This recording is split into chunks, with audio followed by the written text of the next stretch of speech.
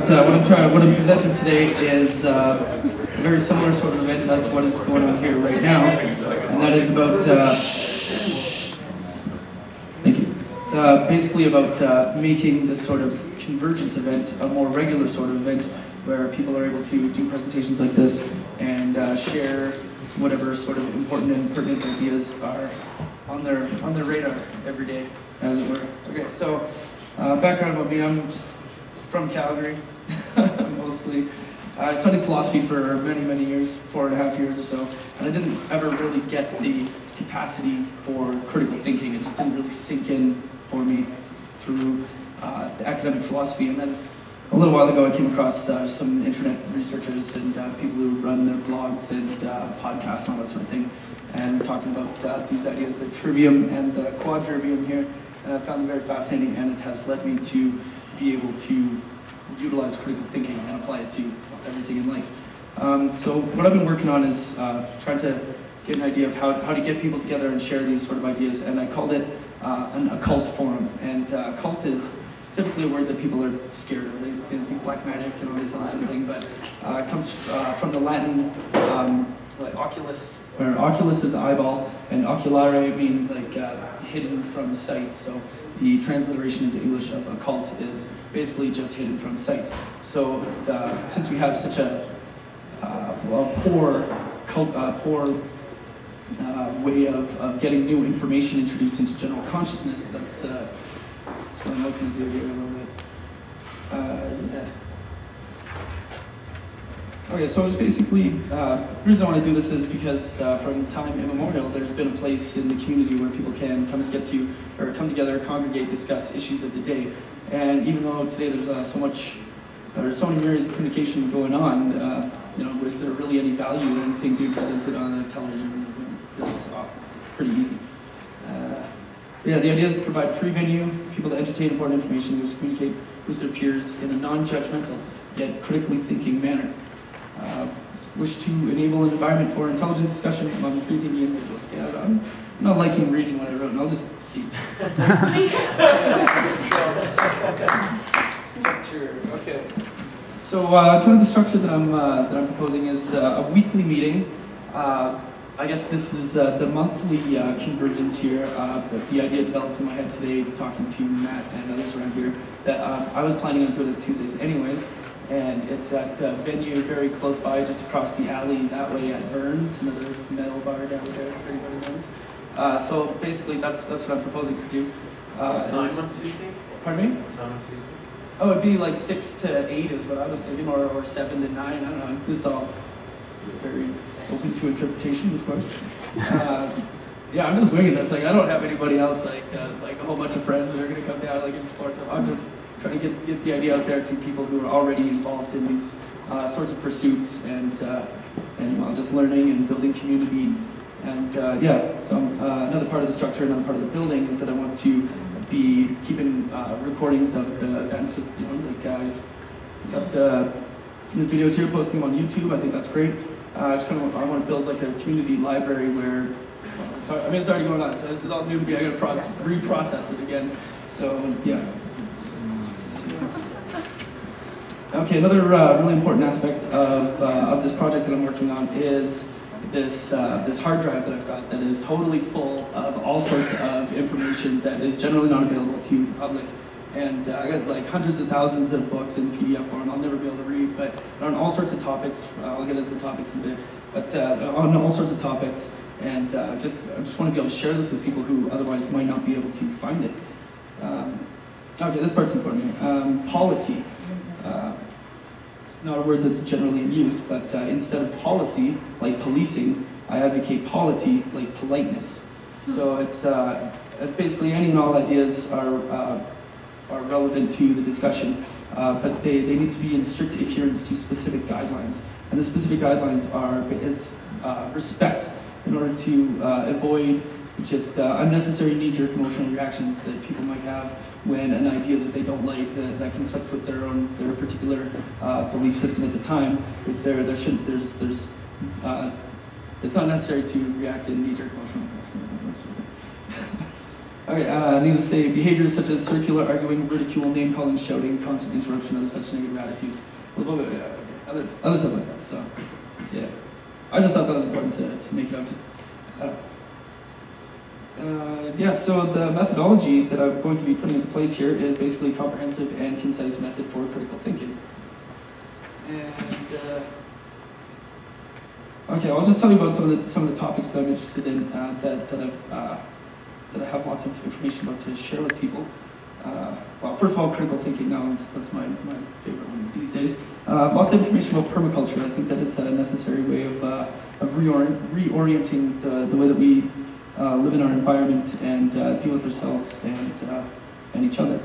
Um, another really important thing I think is going on, I don't know like exactly what to think about it, just, and because, just when I bring this up, people think, oh, conspiracy theorists, so crazy, but chemtrails, geoengineering, this sort of stuff, it's, it's real enough to, uh, to, to merit research. Um, there's, uh, I'm really interested in alternative history, megalithic civilizations, like the, all the, the patterns of how these megaliths are all around the world and how they defy our current engineering technology, all that sort of crap. Uh, okay, pardon my um, Another thing I'm really interested in is uh, like individual sovereignty uh, or interaction with law, uh, what law is. Uh, Nobody ever calls me.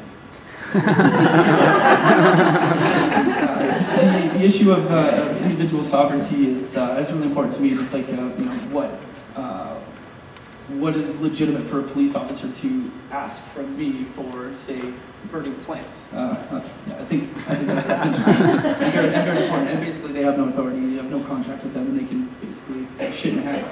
Um, I think the, the climate change debacle is also very worthy of, uh, of uh, investigation. I mean, I'm, I'm not decided one way or the other, but I know that there's a lot of fraudulent bullshit going on, and it's totally unnecessary. All we need to do is I'll apply, uh, apply critical thinking, scientific methodology, et cetera, et cetera.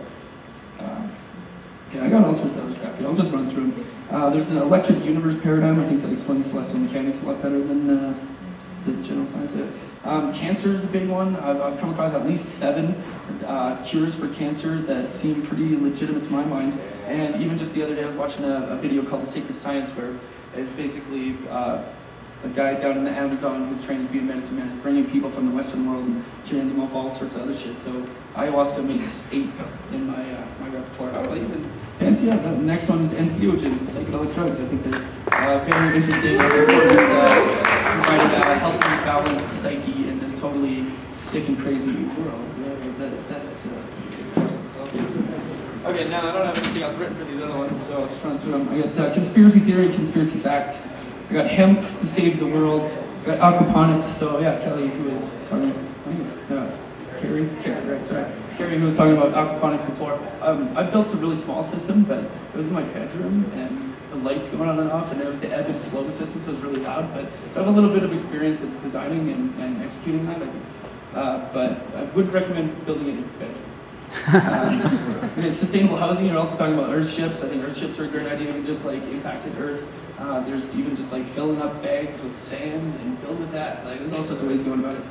Um, there's another one, the holofractographic theory of reality is presented by Nassim Haramein, who I think has basically uh, just given us a, an entirely new physics based on sacred geometry that actually works, whereas our physics is pretty shitty these days.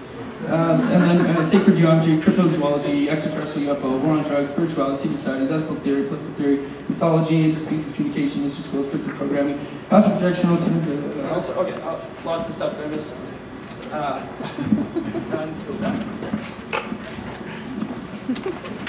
Okay, so that's that's the. How am I like going too long? Is this alright?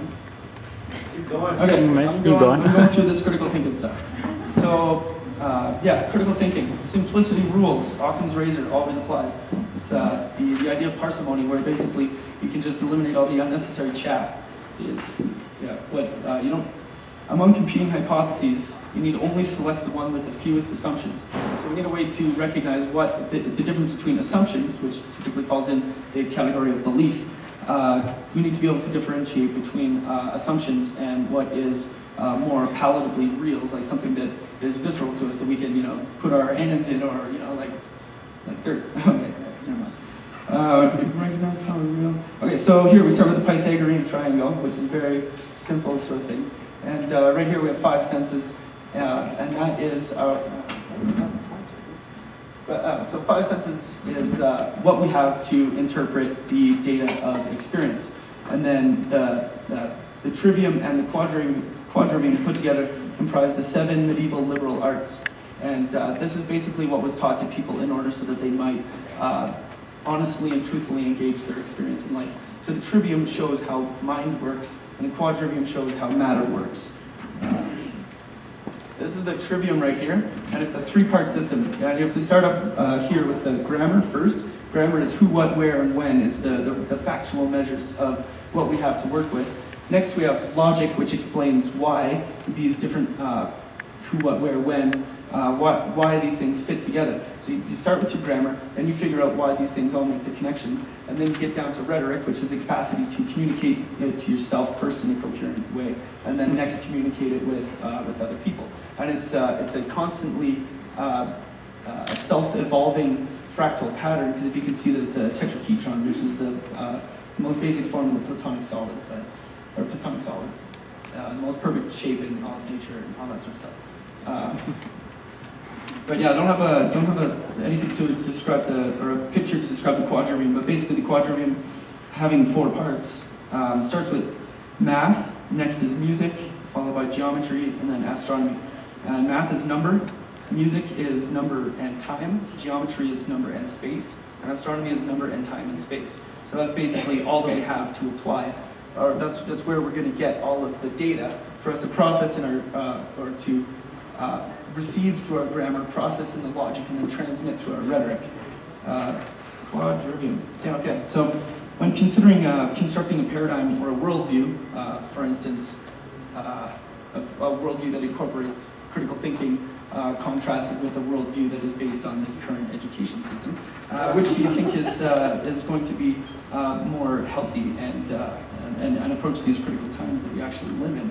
Um, I've just got a couple of these diagrams that I find are very invaluable for me in uh, assessing uh, these critical inputs. Okay, so this is the pyramid of argumentation, and this is uh, this this is the good way to do things, and this is not not so good way to do things. So uh, if you're arguing with somebody and you explicitly refute the central point uh, by, by giving the evidence and all this other sort of stuff. So it just goes down here. But this is just really funny down here. Somebody is an asset. So, um, but, that, but that's generally that's generally the level of communication that we have. Even if you watch like a like a CNN show or whatever, they just call each other names or. Uh, that's okay. Uh, I really, I really like this one. It might be hard to read, but uh, it just starts out. It says, "Can you envision anything that will change your mind on this topic?" If it says yes, it says, uh, "If one of your arguments is shown to be faulty, will you stop using that argument with everyone?" We follow the flowchart says, yes, are you prepared to abide by basic principles of reason in discussing, discussing this topic? He says, okay, now this is a discussion. Here's, here's, here are the rules. The rules are to not introduce new arguments while another argument, argument has yet to be resolved. Do not move on to another argument if it is shown that a fact you have relied upon is inaccurate. Provide evidence for your position or arguments. Do not argue that you do not need evidence. Did you breach any of these? Yes, you cheated. So you can fuck off, basically. Next one, congratulations. I have an experience or uh, we're, we're having rational human being exchanging ideas. Uh, I just, I really like this, and uh, I just think even, uh, like I was saying earlier, uh, for a police officer to come and say that you can't be burning that plant, you just say, thank you for requesting to have a discussion with me about this topic. Discussions are a dialogue between people in which participants are willing to alter their position. Now that, I think right there is the most important part of dialogical persuasion. That's Hancock's right there. Well, it, depends, uh, it depends on well, how, how well it really is. This, this is uh, just an interesting thing, uh, good way to think stuff. Okay, I'm just going to end it here. Basically, everything leads back to sacred geometry for me. Uh, uh, this is the pattern of how, or the, in considering Occam's razor, is the, the most uh, coherent and uh, and concise pattern to explain all this experience of reality that we have. So, thank you.